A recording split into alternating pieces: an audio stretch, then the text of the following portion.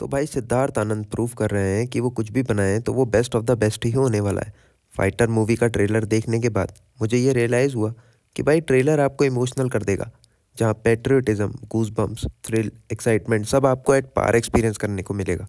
तो ट्रेलर की बात कर ली जाए तो मैं आपको बता दूँ कि ट्रेलर देखकर पता चलता है अनिल कपूर, बाकी फाइटर पायलट्स के साथ एक क्विक रिस्पॉन्स टीम बनाते हैं ताकि देश पर आने वाले किसी भी तरह के खतरे के लिए वो तैयार रह सकें।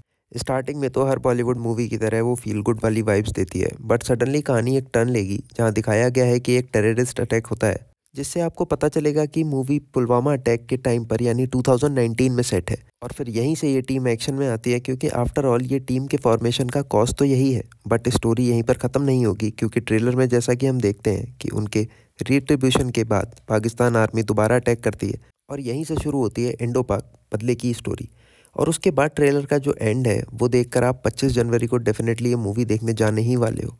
और जो डायलॉग्स और एक्शन पैक्ट सीक्वेंसेस मूवी के ट्रेलर में डाले गए हैं, उन्हें देखकर क्लियरली पता चल रहा है कि क्रिएटर्स का इंटेंट थिएटर में देशभक्ति के नारे लगवाने का है। और मैं ये गारंटी दे सकता हूँ कि ऑडियंस मूवी को एंजॉय डेफिनेटली करने वाली है। वीएफएक्स भी काफ़ी ज़बरदस्त है। आई मीन बॉलीवुड के स्टैंडर्ड के हिसाब से काफ़ी ज़बरदस्त है। और ऋतिक रोशन इस तरह के किरदार में ज़बरदस्त लग रहे हैं।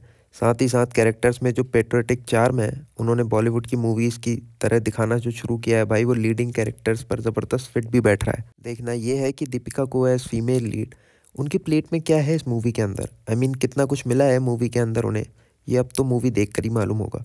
आई I मीन mean, जैसे बॉलीवुड मूवीज़ में दिखाया जाता है फीमेल लीड्स को just as an eye candy I hope इस मूवी में वैसा तो नहीं होगा उनके लिए। क्योंकि मूवी का प्लॉट और ट्रेलर देख कर लग रहा है कि वैसा होने नहीं वाला। साथ ही साथ मूवी में विलन का कैरेक्टर भी काफ़ी ख़तरनाक नज़र आ रहा है। और मैं होप कर रहा हूँ कि जितना ट्रेलर में दिखाया है उससे ज़्यादा ही देखने को मिलेगा मूवी के अंदर विलन का पार्ट हालाँकि मूवी के डायलॉग्स पे हम ज़्यादा ध्यान नहीं देना चाहते हैं वो चीजीनेस वो चलती है यार क्योंकि वो इंडियन पेट्रियोटिक मूवीज़ में हमेशा से इसी तरीके के डायलॉग सुनने को मिले हैं। बाकी ट्रेलर को देख कर ओवरऑल मैं यही बोलूँगा कि मूवी ज़रूर आपको ज़बरदस्त एंटरटेन करने वाली है। बाकी आप लोगों की क्या राय है? इस फ़िल्म से आप लोगों को क्या उम्मीदें हैं? मुझे कमेंट सेक्शन में ज़रूर बताना। मिलते हैं नेक्स्ट वीडियो में।